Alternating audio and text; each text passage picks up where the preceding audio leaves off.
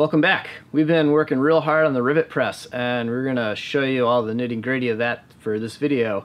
But so many of you have been freaking out on YouTube, Instagram, and Facebook in the comments section about the uh, fasteners for the backbone and the uh, screws that we use for attaching the frames. So we figured before we dive into the rivet press, we should uh, go over those fasteners a little bit and maybe quell some of these fears that many of you seem to be possessing right now.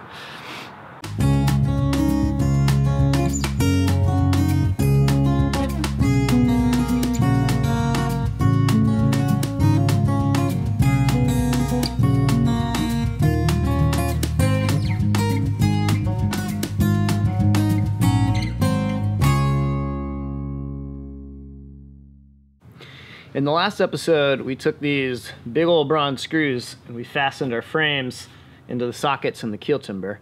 Uh, and we had a lot of people voice some real concerns about those. Um, so we wanted to try to quell some of those concerns. One, these screws got countersunk a little bit into the frame. And you can see there's over an inch and a half of screw that is going into the keel timber. So that's a pretty decent amount of fastening for what we're using these for. And these screws are not going to be the only thing that connects the frames to the keel timber. They're just a small part of that assembly. Um, and this is a thing that a lot of boat builders actually don't even do. They skip it. They just end the frames right on top of the keel timber, and it's actually the floor timbers that carry that load. Uh, so as far as we're concerned, these screws are basically bonus fasteners. And if you add them all up, saying each screw maybe holds 100 pounds, uh, that's still many, many tons of extra carrying you know, capacity that we have for those fastenings that are basically bonus because in reality, the floor timbers are actually what does all that work. So what is a floor timber?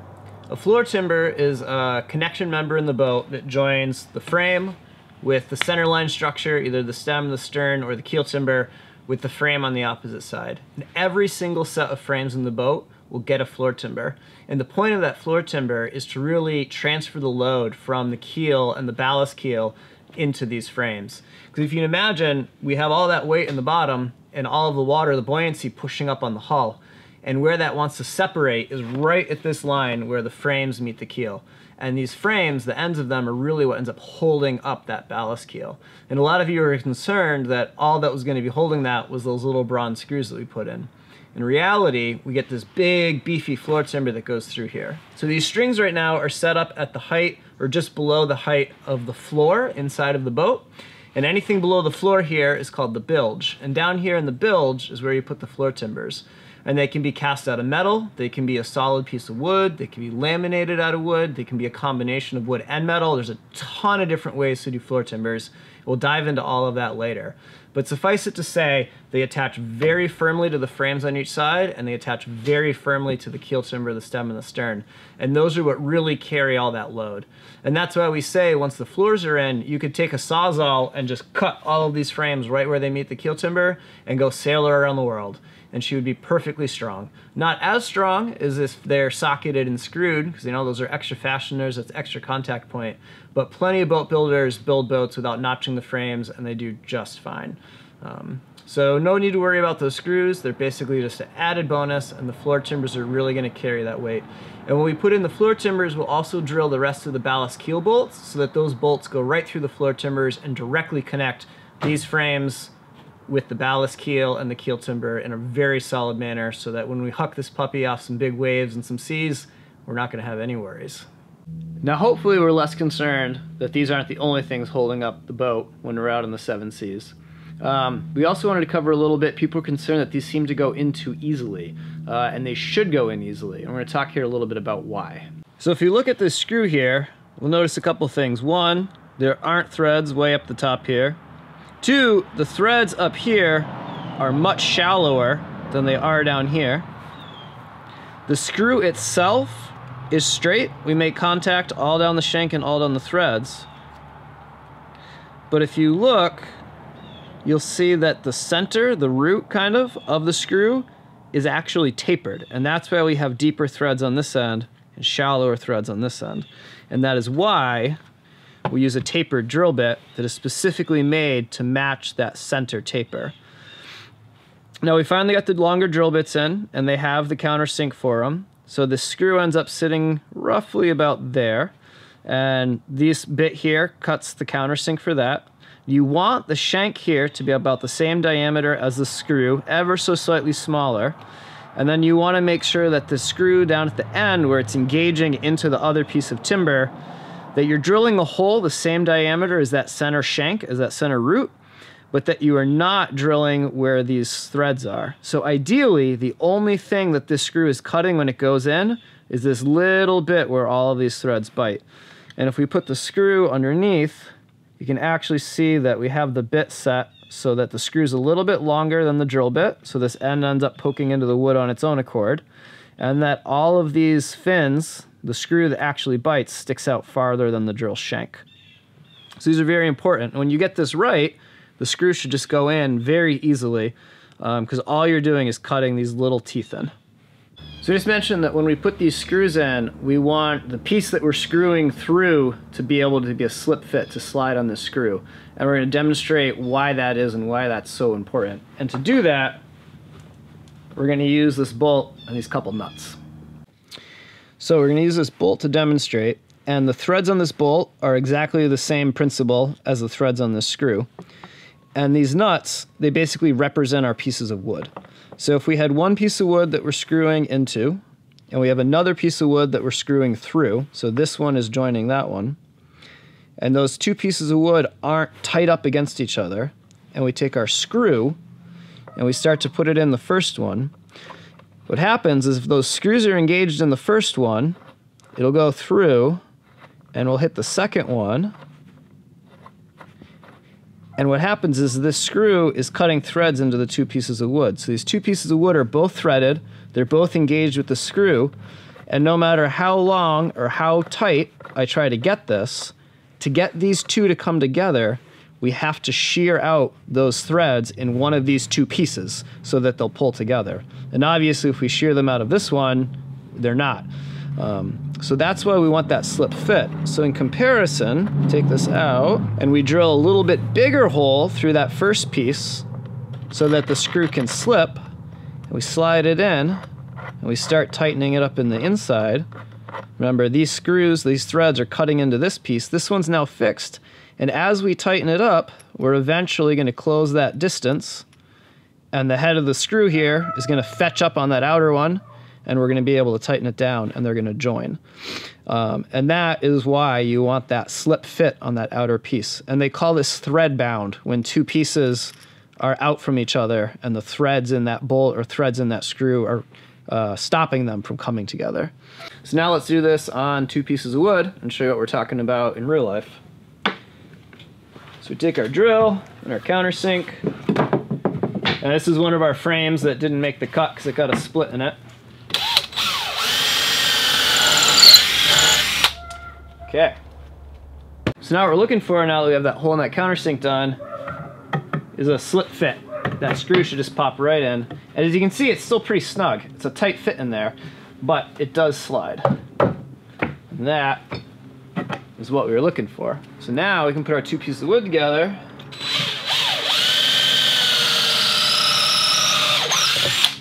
Can drill that lead hole into the next one. Uh, Can't forget the wax. The wax really does make them go in and out a lot easier.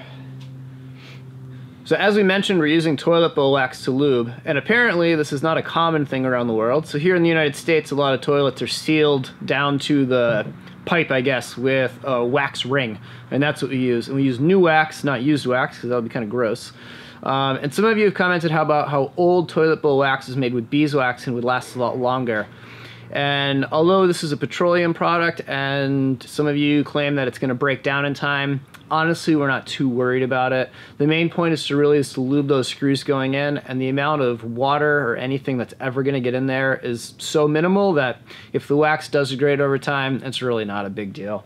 So we'll put the screw in, we'll line up our hole, and as you can see, it's not tight.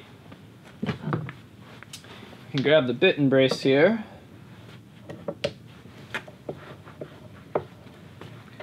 And we can start to drive it home. And we can see that's caught, and we have a pretty big gap there.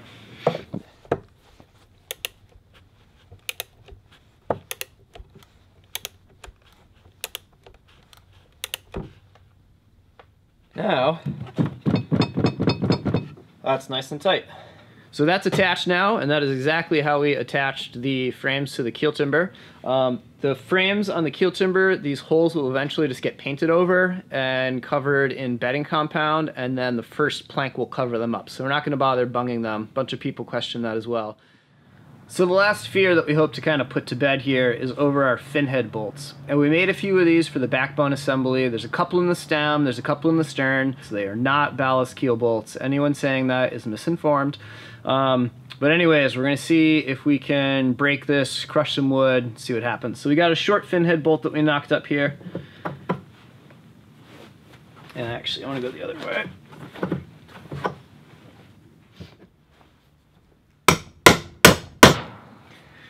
Okay. So first of all, when we put the bolts in, they are all a driven fit like that. And the longer they are, the harder you have to drive them. And they're all driven at different angles. So even if you went through the boat and took off all the heads of all the bolts and left the rods in place, I think you would really, really, really struggle to pull that backbone apart.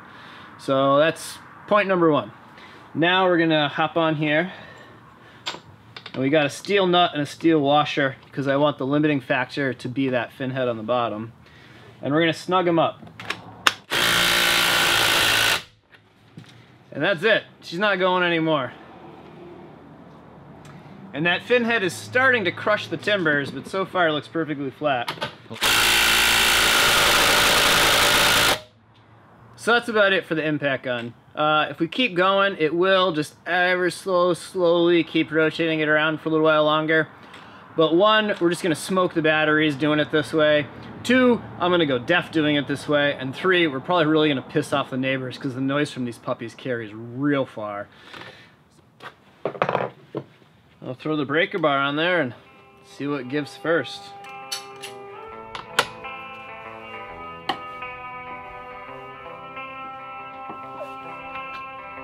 Well, it's starting to deform. But holy smokes, is that a lot of force.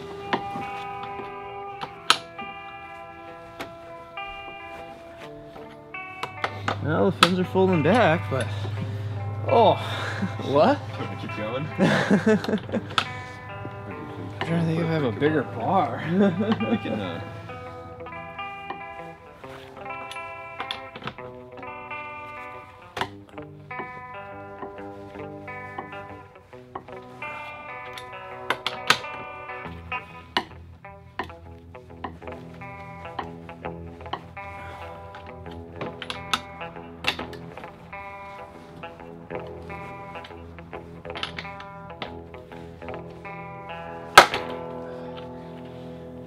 So I popped the fin head. And folks are right. The fin head is not as strong as two nuts on either end would have been. But I'll tell you, this thing crushed into the oak.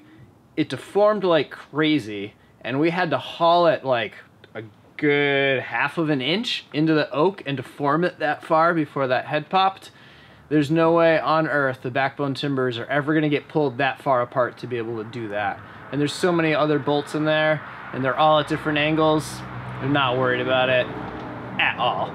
I wouldn't hang the ballast keel off them, that's for sure. But for the couple that we have in the stem and the stern, I think they're completely fine. So let's pound this out and see what the rest of it looks like.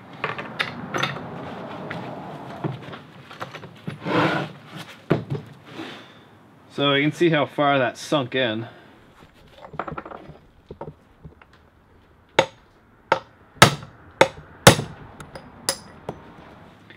There you go. The head sheared right off.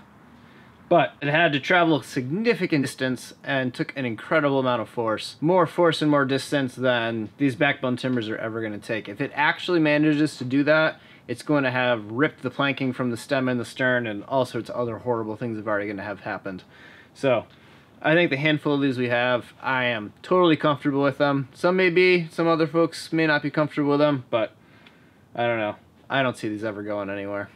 Now that we've talked about the screws and the fin head bolts, let's go on to the next fastener, which is going to be the copper rivets for the planking. So this is the largest commercial available rivet we could find, and this is our homemade version. So let's go into how we uh, took a bunch of stock and made these. So looking at the uh, split frames here, this is the frame of the boat, and then this board here is a planking facsimile. It's the same thickness as our planking. So if we were to screw the planking to the frames, we would use a screw similar to this, although a bit longer. Uh, we would countersink it into the planking a bit so we can put a wood plug, a bung over it. And we would make it so that the screws are just shy of poking through the inside of the frame. And one of the potential issues with this is that both sides of the frame end up on the threads and it can get thread bound, which we talked about earlier. So what we decided to do was use rivets and this is the largest commercial available rivet that we were able to find and we hunted high and low for a while. So the rivet would do the same thing. You'd countersink it a little bit and it would go right through the planking right through the frame. And on the other side you would put a conical washer called a rove. And this basically makes a through bolt. You would cut the rivet on the inside peen it over with a hammer and it basically makes a through bolt. So largest commercial rivet and then Acorn to Arabella rivet. So they're much bigger and they are square. So what we ended up doing was buying copper stock, quarter inch by quarter inch by 12 foot long lengths and forming it into our own rivets. So these rivets will get countersunk through, they'll get driven through a quarter inch round hole so that all of these corners will bite in really well. And then we'll put the rove, we'll get peened over on the other side. And these will make really great, really strong planking rivets. And the nice thing about the square rivet is that they're all going to go in at a little bit of a different angle. So no matter how the plank or the frame is really being loaded, you're going to be trying to bend some of these rivets along their long axis, which is stronger than a round rivet. And also by driving a square rivet into a round hole, it's going to lock itself in there really, really tight. Um, so we can make these rivets for thousands of dollars less than we can buy these smaller rivets. And as you can see, they are much bigger and would be much stronger and cheaper. So we hunted high and low for a rivet manufacturer and these are the biggest things we could come up with. So, and they're expensive. So we ended up deciding to make our own. So we started by purchasing 12 foot lengths of quarter inch square stock that looked like this. And one of our volunteers, thank you Odie, uh, cut a lot of it to length for us. Once it was cut to length, we had one of our local machinist guys who's been helping us a lot, Joe. He built us this die that we can put in a press, and then we can press a head on them. And then once the heads are pressed, we can put them on the grinder with a jig that Odie made, thanks again Odie, uh, and put a point on them. And that is our final rivet. And we even took one and did a torture test with it. So we riveted two pieces of oak and ripped it all apart. And as you can see, it bent and it deformed, but it did not break. Um, so we are very happy with the outcome. So we needed a way to turn square stock into these rivets. And this is our solution. Uh, so our machinist friend Joe helped us out yet again and machined this die. So there's a cap that sits over the top and that guides the pins that come down. Otherwise we found that the rivets would just fall over. So that fits over the top. And then the die opens up. And you can see there's just machined slots with the shape of the head. So you can load your rivets in, put the nuts on, tighten it down, throw the cap on, and then when you press it, the rod can't fall over anywhere, and it forms out in mushrooms and becomes our head. One of the issues we had is we originally just had these two points down here, and the top of the die would actually bend and it would bow out. Um, so the cap would end up getting wedged, and you'd have to like beat the cap to get the cap off, which is not ideal. Uh, and it was also making it so that the rivets didn't form completely even. So we brought it back to Joe, and he drilled two more holes. So we got to put in the two bolts and tack weld those in the back, reaffix this in our jig with the 32 ton press, and give it a crack. But fingers crossed, I think we're just about there to having a functioning rivet machine.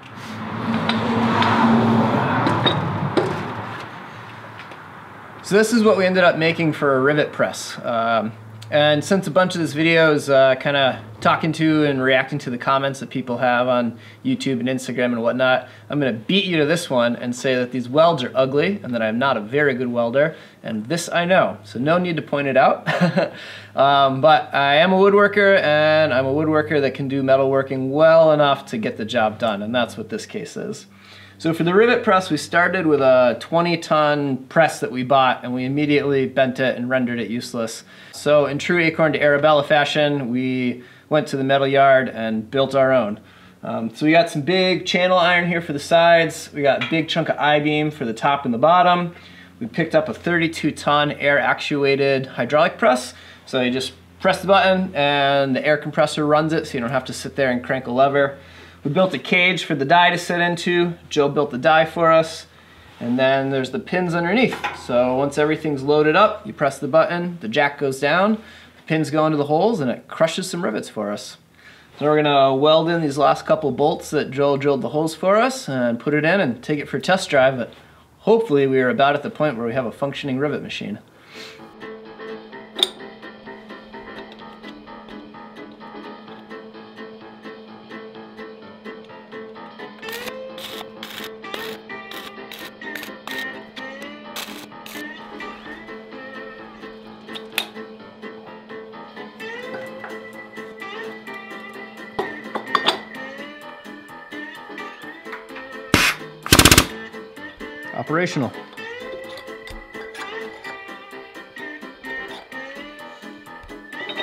All right, so we're all loaded up.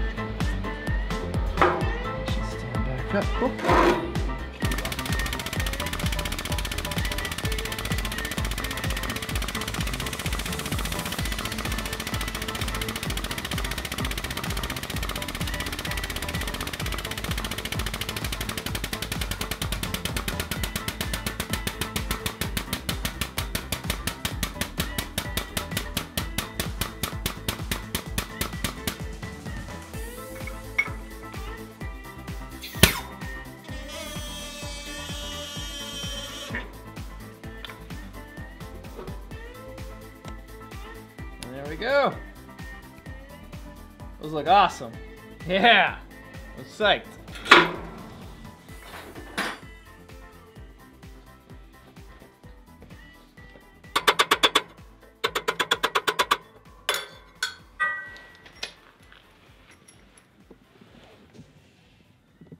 Cold pressed rivets. Ah, I think we have a working rivet press. So we are super psyched. We just made a whole bunch of rivets. It did it all without any hiccups. I think we are in production. Uh, it is definitely not the fastest machine in the world, but so far it has proved to be very reliable. It is very simple. And the idea behind it is that we have so many volunteers that we can put them to work making rivets. And if it's a slow, steady, simple machine like that, we can park somebody behind it and say, go to town. Uh, so we'll get that figured out in the not too distant future. And I'm sure that a ton of you have various ideas of how we could do this better, faster, more efficiently, and we would love to see them. So our challenge to you is to go build a rivet machine, upload it to YouTube, send us the link, and if it is better than this one and more efficient, we will either buy it from you or we will build one. Um, but for right now, I think we are happy with what we got, and uh, we only need to run the machine about a thousand times to make our 4,000 rivets, and we can do a batch of four in about five minutes. So if you do the math, it really ain't too shabby. So mission accomplished.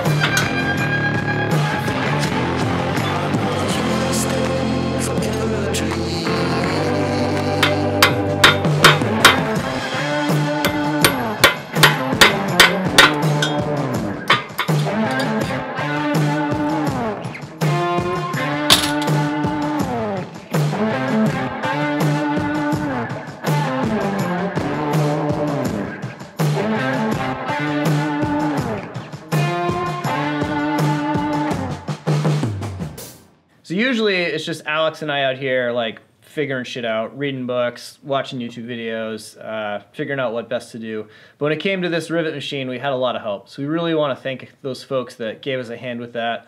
Um, big thanks to Satchel for helping us like brainstorm this rig to begin with. Joe for doing all the machining on the die and helping us figure that out. Gene for helping do the last bit of the welding and like the fiddly setup with that. And Odie for cutting a lion's share of our rivet stock so that we can uh, get into rivet production. And there might be a few more that have helped out. If so, we're really sorry. This has been a long, kind of torrid process getting this thing set up. But thank you to everyone who helped out. We really appreciate it and are psyched to be in rivet production. Thank you.